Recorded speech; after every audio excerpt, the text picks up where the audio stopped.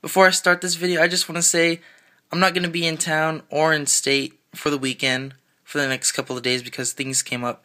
So again, sorry competition winners, you might have to wait till next week. But I promise you, you'll eventually get your prizes, eventually. So please, you know, hold on. So what video is this about?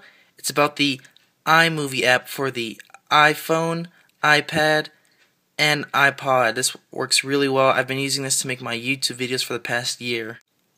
You may want to get this after you watch this video because this will be a tutorial on how to make a video on the iPod. Fourth generation. Plus this app is only $4.99. What a deal! Okay, so let's get started. What you want to do is press the iMovie app. It'll get it started to the selection scene. These are my uh, previous videos that I'm working on. So when we want to start creating a video, we're going to want to press that, you know, that plus button where this menu will come up. And there are many icons we can choose from. If you can get it, you can just play around with it and whatnot. But anyways, what we're going to want to do is press this icon right here, the music and uh, film.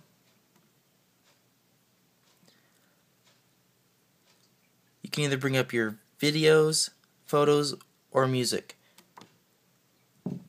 I say we make a skate video, so I'm going to select some videos here, some clips.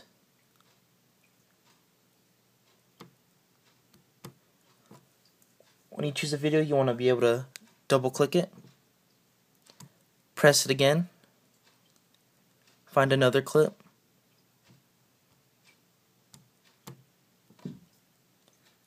So there we have our two clips so far.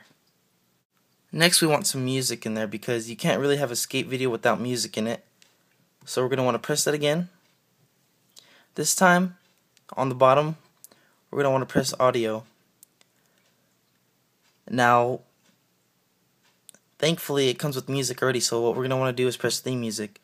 But if you have music downloaded onto your iPod or iPod, iPhone, you can choose any song you want on there.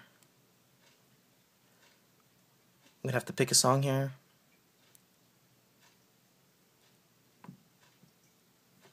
And there we have some music. You can double click that, turn up the volume, or lower it, whatever you want. Press done. We can also run titles as well.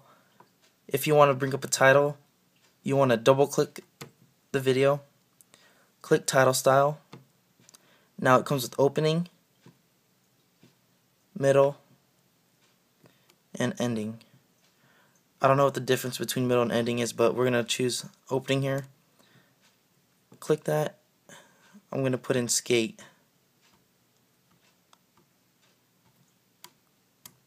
Done.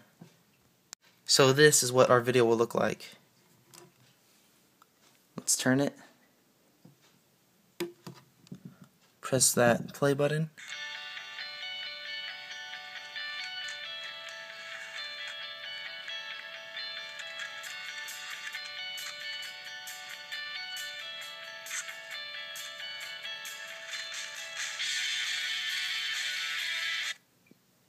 Once we have our video finished, we want to be able to upload it. So what we're going to want to do is press this at the top, that little star note, where it brings us back to that menu in the beginning. And if you want to watch it, you can press the uh, second icon. And But if we want to be able to upload it, we're going to want to press this one.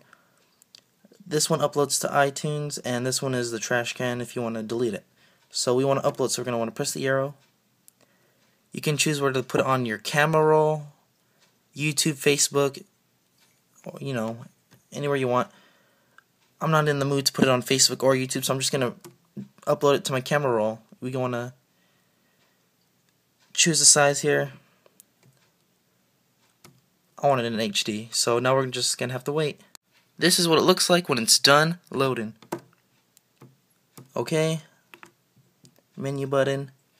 Now I'm just going to go in my photos. And here's the video.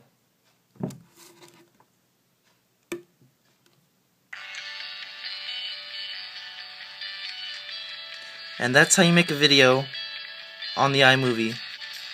Very fast, very simple if you just want to make those fast, quick videos.